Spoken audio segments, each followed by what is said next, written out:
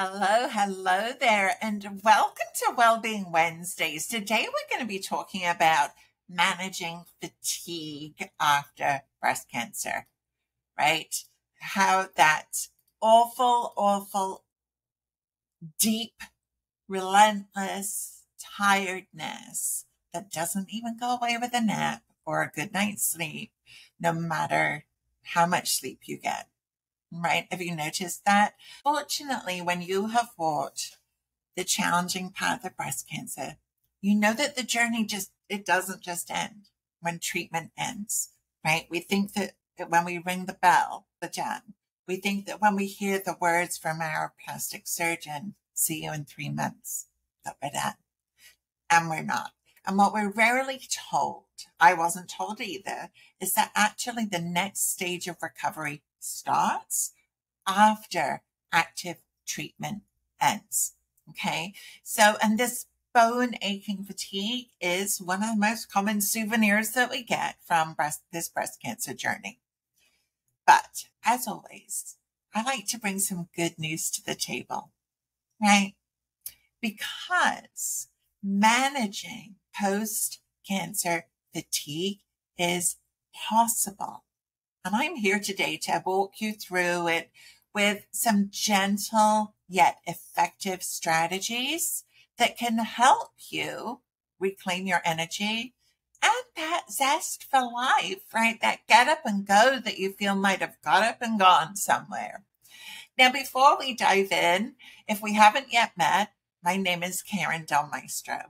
I'm on a mission to help 10,000 breast cancer survivors uncover the secret to building habits that withstand the roller coaster of life, the stress, the fatigue, and yes, even those sneaky chocolate cravings.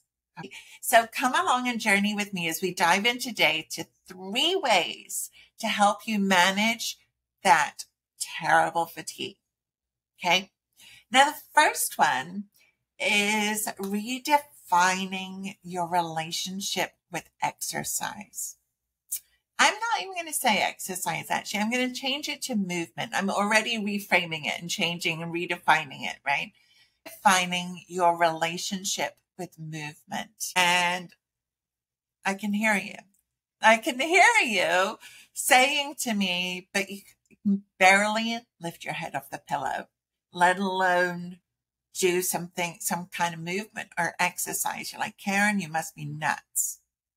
And I know it might sound a little bit counterintuitive, right? But please hear me out. Before I became a health coach, which was well over 12 years ago, as I'm, I'm doing this video today, but I was a personal trainer for over 10 years. And I understand how getting your body moving can actually be one of your strongest allies in combating fatigue.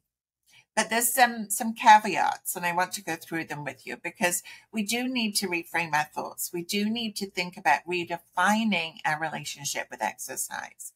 So, so here are some top tips for you. Number one is to start slow. You do not have to run a marathon or hit the gym hard, even if that's what you were doing prior to your diagnosis. Okay. Give yourself permission to heal and recover before you start hitting the gym hard. Now, one of the ways that I like to think of this is, is, you know, and we'll go into this a little bit more, but if if you were talking to your best friend and you saw them extremely fatigued, the way that you are right now, the way that you can't even describe to people because they just don't get it, right? Then why would we want to push? Why do we want to push? We actually want to step back and nurture and nourish ourselves in more ways than one, but we're talking about movement right here. So we're talking about taking baby steps and we're talking about giving ourselves permission to do that and to be okay with that. Because I know that your mind kind of gets in the way, right? It's like, but it's not enough. I should be doing more. Forward movement is better than no movement at all. progress, not perfection, progress. So something as simple as gentle yoga, restorative yoga, yin yoga, gentle yoga, slow walks around your neighborhood, or even some light stretching can kickstart your energy levels without overtaxing your body. Your body is tired because it's healing, it's recovering, going through the trauma of breast cancer, no matter the diagnosis. So if you were diagnosed with stage zero, diagnosed with DCIS, diagnosed with stage one, you've still heard those traumatic words.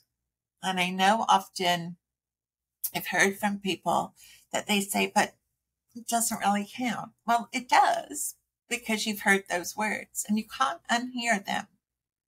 It counts. So be kind. And the, the key here is to listen to your body and adjust your activity level based on how you feel. Personally, I love Qigong. I love Tai Chi. You can find lots of videos on YouTube for them. Easy to find, gentle movement.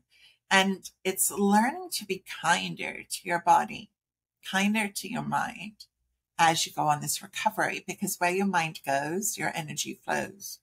So the harder we are on ourselves, the more we beat ourselves up up here. I call that voice negative Nancy, by the way. No disrespect to anybody called Nancy, but it's about learning a kinder, easier way of being. And so listening to your body and adjusting your activity level based on how you feel. On the good days, maybe you push a little further.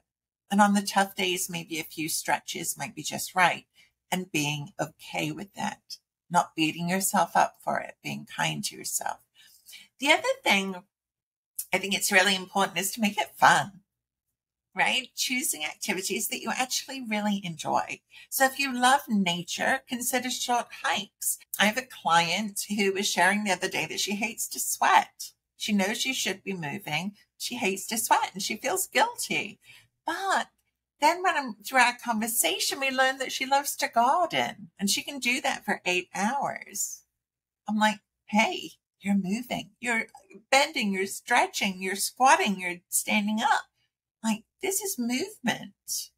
And so some, it's about finding something that you actually enjoy. So if the water suits you, maybe some swimming, like light swimming or some aqua aerobics in a warm pool. Some, you'll find that some hospitals have wellness centers with therapy pools or physical therapists that have therapy pools that are just that little bit warmer that encourage your body to just relax and come out of that survival mode that you've been in. The more you enjoy it, the less it feels like a chore and you're the more likely you are to keep at it, right? Kind of makes sense. So that's the first thing is redefining your relationship with movement.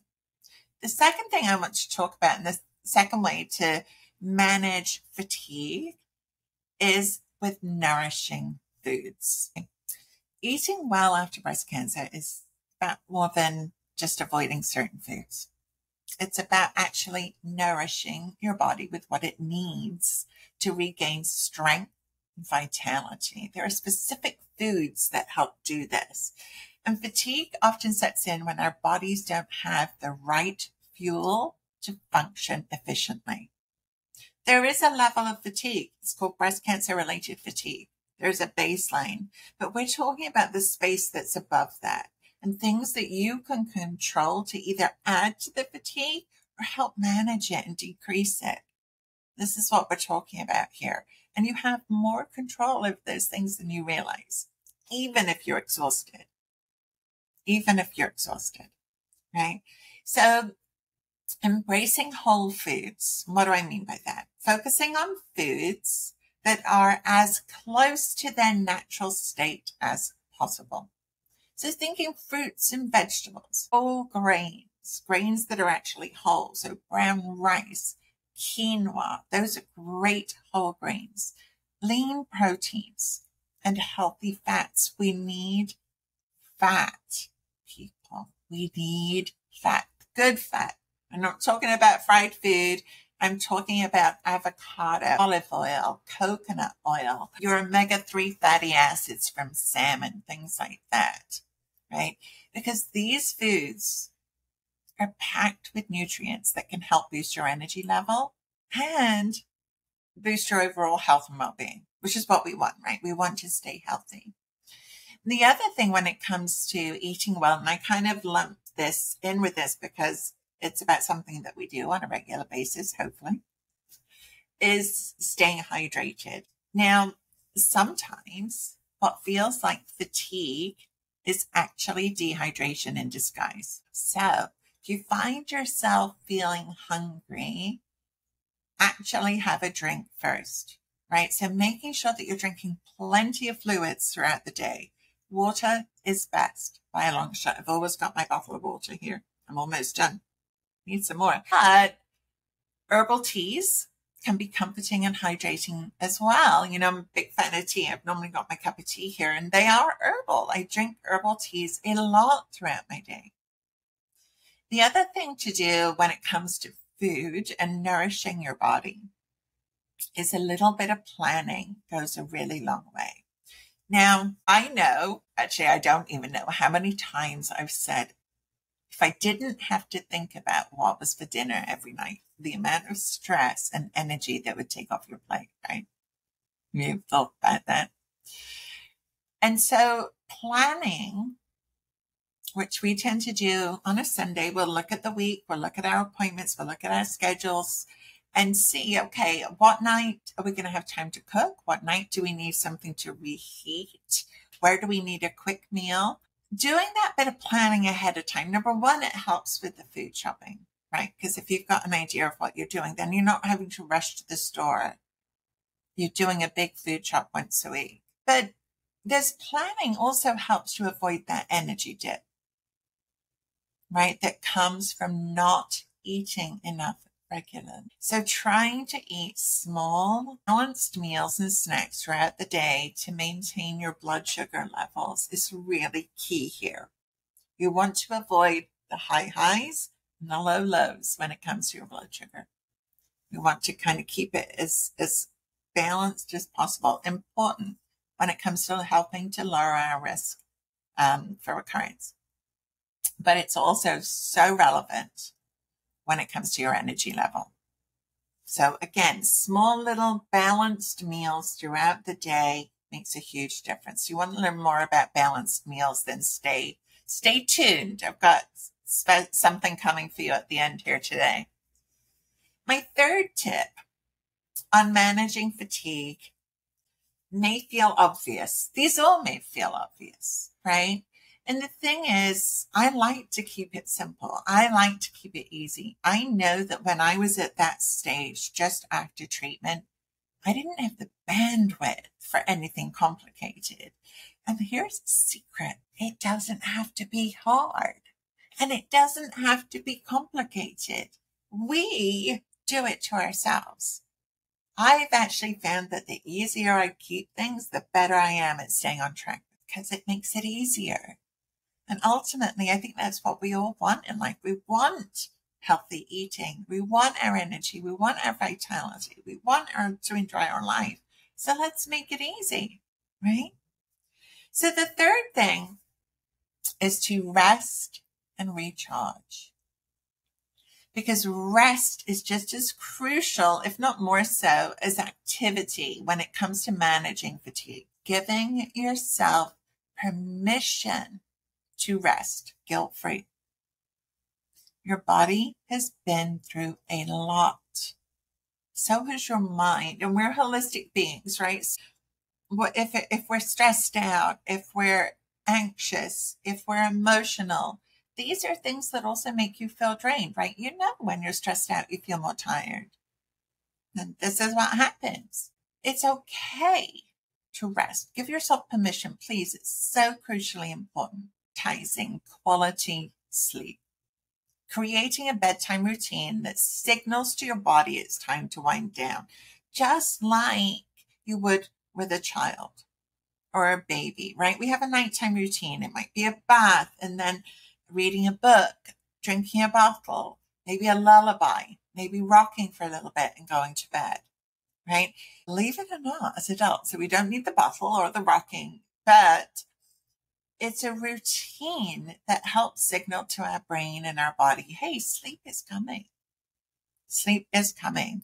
And our body loves that, kind of loves to know what to expect. Some keys here are, and this is a hard one.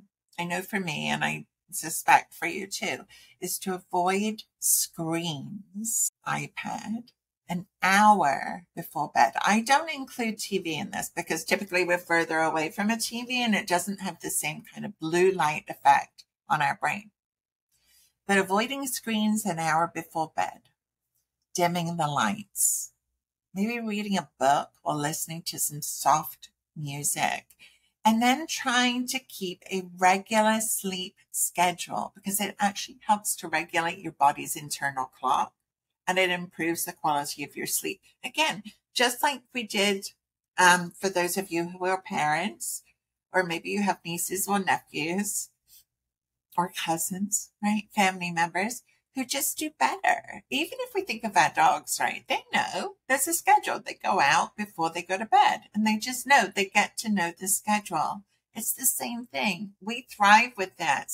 We, it's good if we can give ourselves that opportunity to do that. I am also a huge fan of power naps. Have been for years now. It's unbelievable what a short 20 to 30 minute nap during the day can do for you. It can feel incredibly rejuvenating. I don't know if you've ever had that, this experience where around 2.30, 3 o'clock, you feel like you just hit a wall right? Maybe your brain's not working properly. Maybe things are taking longer to do than you feel that they should. Maybe your body is like, uh-uh, okay?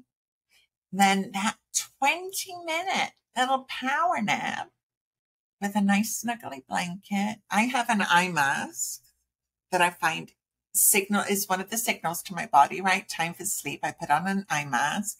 It's a silky one, so it doesn't get hot really important if we're dealing with hot flashes. And waking up and then having a cup of green tea. No caffeine, but green tea in the afternoons are really great kind of pick me up to help your energy level to keep going.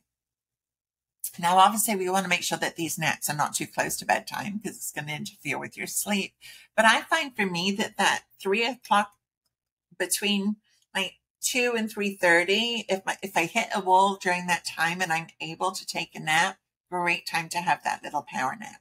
The biggest key with all of this is to listen to your body. I call I go by the pronouns she and her. So I'm going to refer to my body as a, as she. She knows exactly what I need, right? She's going to have days that are better than others. I'm not going to judge her. She's healing. She's recovering. And I want you to know that when you're feeling worn out, please grant yourself the grace and space to take it easy. Give yourself permission to rest. Resting is not laziness. Okay. It's not laziness. It's an essential part of recovery. And if you keep pushing, pushing, pushing, pushing, you're just going to keep getting more and more tired. So rest is crucial in this part of recovery. So to recap, right, managing fatigue after breast cancer is a journey. All right. That, that's me being honest and transparent the way I always am. And it's okay to take it one step at a time. Because remember, every little bit of movement, every nutritious meal or snack, every restful moment adds up to a bigger picture of health and vitality. Okay. So these are your three ways to start managing fatigue.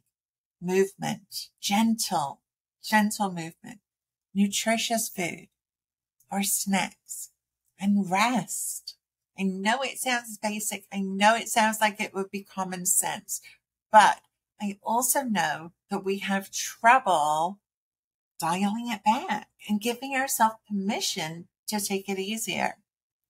So if you're looking for more structured support, or if these tips resonate with you, but maybe you're not sure how to start implementing them, then hop on over to my blog, karindelmaestro.com slash blog, and check out my four week program called Resilient Routines. It is specifically designed for women like you who are ready to take back their energy and life and grasp it and live it to the fullest after breast cancer.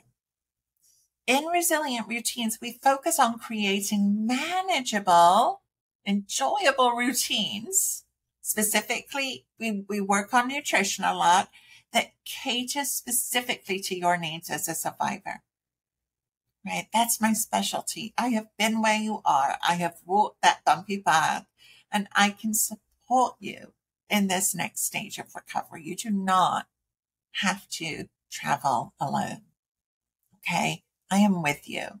And so hop on over to the blog. You should be able to just tap this video where you're watching. It should take you. If not, there'll be a link around the video to check out resilient routines. See if it's for you.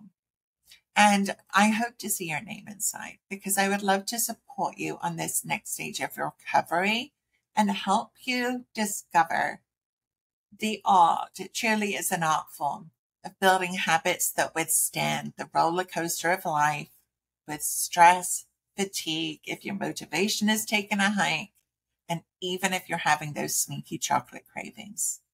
This can help. Okay. That's it for today, guys. Again, I'm your host, Karin Del Maestro. Thank you for joining me for this Wellbeing Wednesday. And I hope that you start to implement these tips. Let me know in the comments. What are you going to try first? Maybe hang, I will see your name over in Resilient Routines, which is where I get to really support you and we get to travel this road together. Okay. Bye for now. And I will see you next Wednesday.